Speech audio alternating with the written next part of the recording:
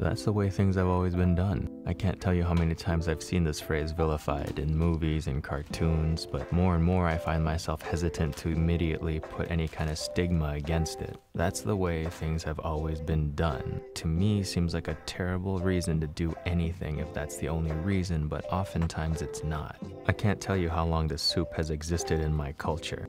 Maybe it's only as old as my great great grandmother, maybe it's older than Jesus. If you think about it, both aren't all that old compared to how long the Chinese have been cooking. We done been there, and we done been making soup.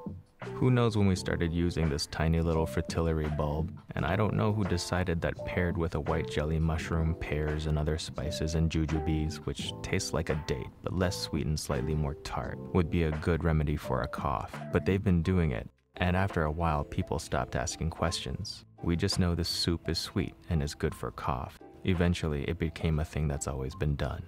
Because there's no meat in this soup, making it is rather easy. Wash the mushrooms, peel the pears, compile your spices into a cheesecloth or a tea strainer, and toss everything in along with the dried fruits and bring to a boil. Once boiling, reduce to a gentle simmer so the bubbles don't shred up the pears. Once the water is golden, you can remove the spices and let everything sit and store as is.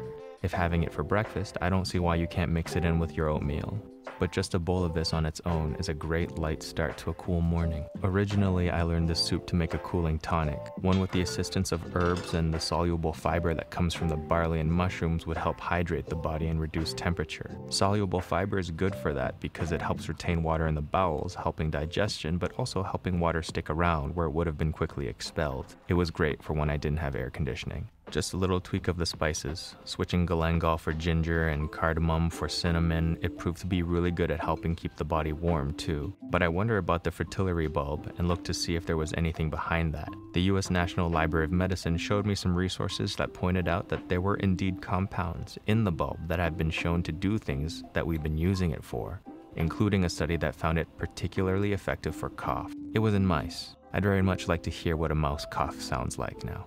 That's the way things have always been done to me is still a terrible reason to do anything if it's presented to me as the only reason. But at least now my instinct is look to see if I could find out why instead of just not do it.